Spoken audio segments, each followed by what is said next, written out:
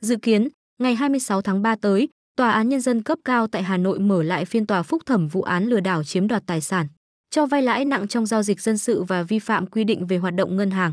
Hoạt động khác liên quan đến ngân hàng xảy ra tại Ngân hàng Đại chúng, PVcombank, Ngân hàng Quốc dân, NCB và Ngân hàng Việt Á.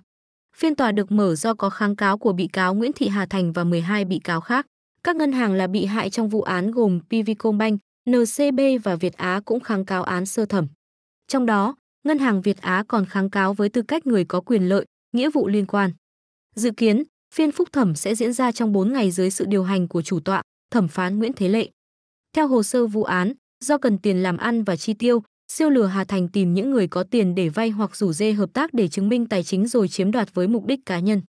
Do không có tài sản đảm bảo nên Hà Thành nói với họ gửi tiền vào các ngân hàng do Thành chỉ định, gửi tiền tiết kiệm với hình thức đồng sở hữu như trường hợp ông Đặng Nghĩa Toàn, Triệu Hùng Cường, Triệu Thị Tuyết trình Sau đó, bà Thành rút tiền ra để sử dụng cá nhân. Để làm được việc này, hàng chục cựu cán bộ ngân hàng NCB, VAB, PVcombank đã tiếp tay cho Hà Thành giả mạo chữ ký các đồng sở hữu để cầm cố, vay tiền ngân hàng.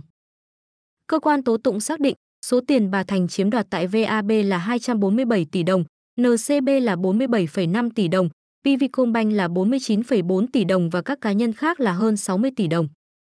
Số tiền chiếm đoạt, bà Thành sử dụng chiếm đoạt để chi tiêu cá nhân, trả tiền lãi, mua cổ phần.